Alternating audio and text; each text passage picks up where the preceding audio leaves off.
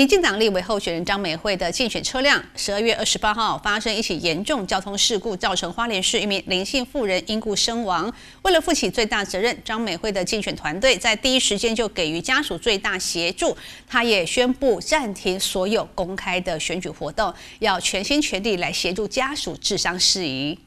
民进党立委候选人张美惠的竞选车辆，十二月二十八号发生一起严重的交通事故，造成花莲市一名林姓妇人因故身亡。而张美惠也暂停所有的竞选活动，在第一时间前往医院探视，全程陪同家属，给予最大协助。致上最大的歉意，真的举动。张美惠及全体进总团队深深一鞠躬，向社会大众及家属表达最深的歉意。过程当中，张美惠数度哽咽，频频擦拭眼角泪珠，表示她会负起最大责任，全力协助处理林姓妇人的后续事宜。发生这件事情哦，真的非常的非常的抱歉。呃，所有的呃过程哦，呃，美惠呃负最大责任。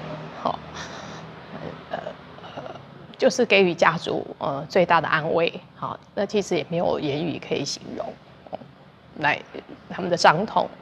那但是呃过程当中，呃美惠跟竞选总部团队哦，我们是以最大的诚意，好，家属需要什么，我们全力的来来协助竞选总部的呃疏失哦，我们也汲取这深切的教训跟警惕。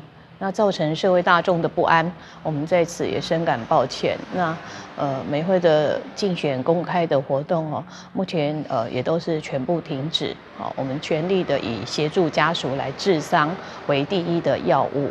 竞选总部表示，也有选民持续给予鼓励，希望团队可以化悲愤为最大的力量，把握最后时间为乡亲来服务，取得更多人支持和认同。希望张美惠竞选团队可以面对问题，善尽责任，重新出发，也不辜负选民的期望。